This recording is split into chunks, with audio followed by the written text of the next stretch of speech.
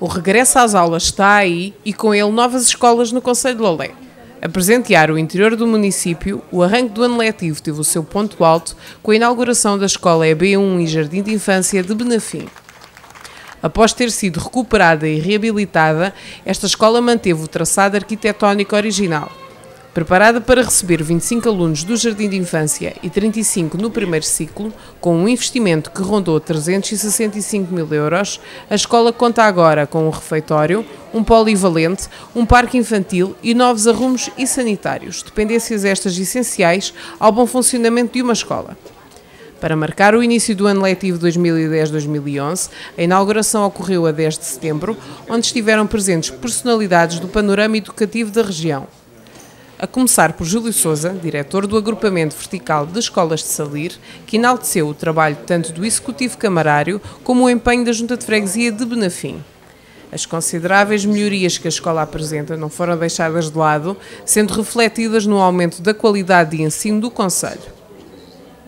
Luís Encarnação, presidente da Junta de Freguesia de Benafim, reforçou o esforço feito e a feliz parceria com a Câmara Municipal de Olé para a boa concretização deste projeto. Foi aproveitada a ocasião para o apelo a uma crescente natalidade na freguesia.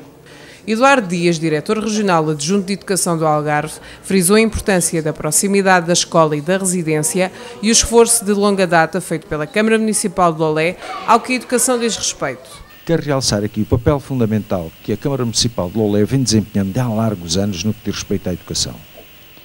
A Câmara de Lolé é um paradigma no Algarve daquilo que é a ação educativa de uma Câmara, substituindo-se inúmeras vezes ao Poder Central para corresponder às necessidades das populações.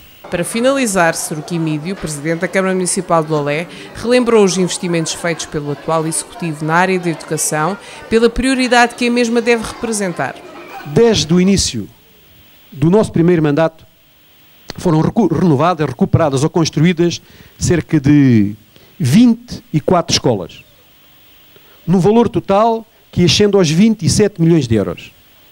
Portanto, para se ter uma dimensão da grandeza do investimento da Câmara Municipal, no fundo, no investimento de todos os municípios na, na educação.